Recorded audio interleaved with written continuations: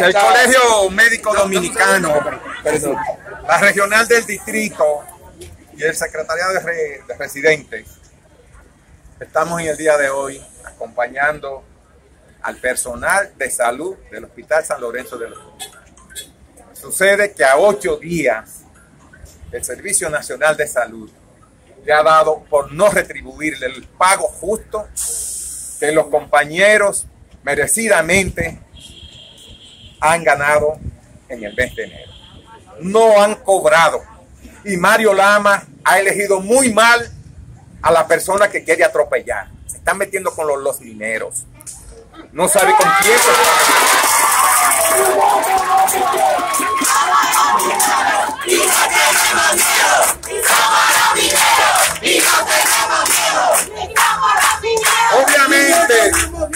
Esa incapacidad cerval que viene mostrando como gerente del Servicio Nacional de Salud, queriendo golpear, golpear precisamente a los sectores que trabajan en el día a día, que amanecen en la brega cotidiana, bregando con los pobres de este país, es un abuso incalificable.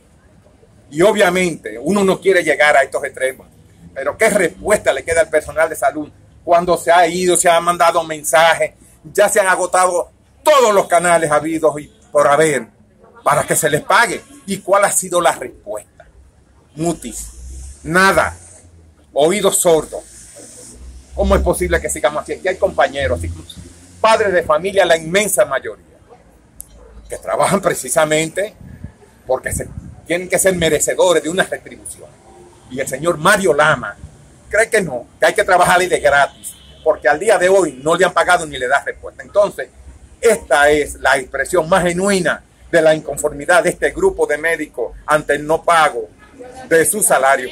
¿Cuántos médicos Son cientos, porque tenemos los bioanalistas, las enfermeras, los odontólogos, los residentes, los médicos, los anestesiólogos, todo. Aquí no le han pagado un centavo a nadie a nadie. Y lo peor es que no hay unas respuestas al día de hoy.